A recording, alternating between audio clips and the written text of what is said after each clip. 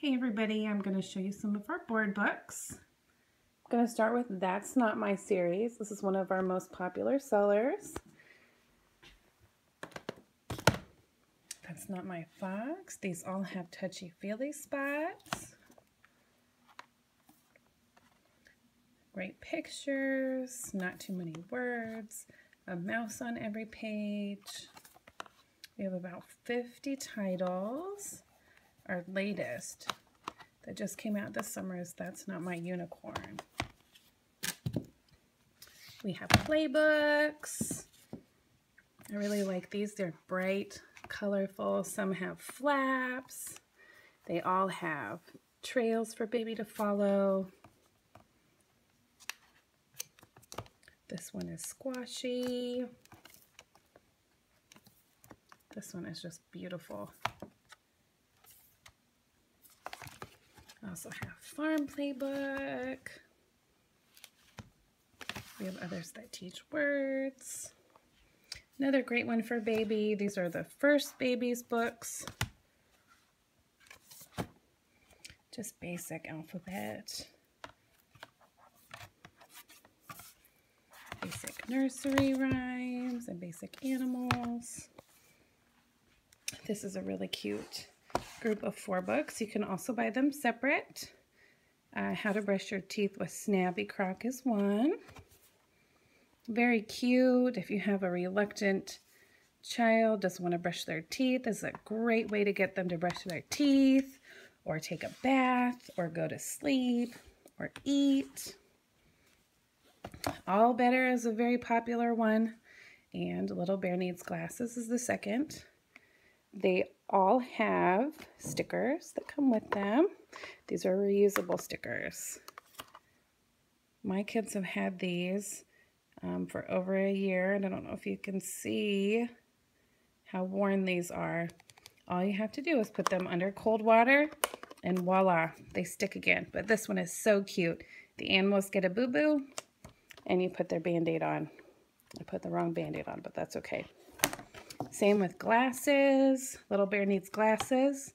And so all of his friends try to give them their glasses. And my daughter put them all on the same page. So they all share glasses. And then he right, realizes that he needs his own glasses. Um, we have some look insides, peek inside, see inside.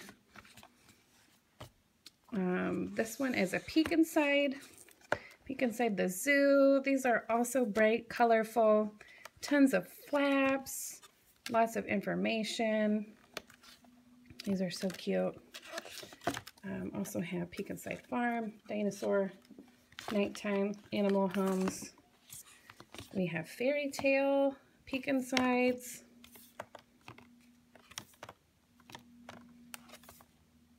These are pretty cute. These have a few flaps as well. Lift the flap books. This one is awesome. It has flaps inside of flaps. You can see the different layers of the body all the way down to the organs.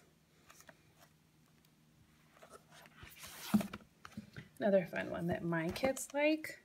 Um, this is kind of geared to younger kids they have to find this animal. And so they start lifting the flaps and along the way, all of the flaps build the final animal. They really like this. It's pretty short, but still fun for them.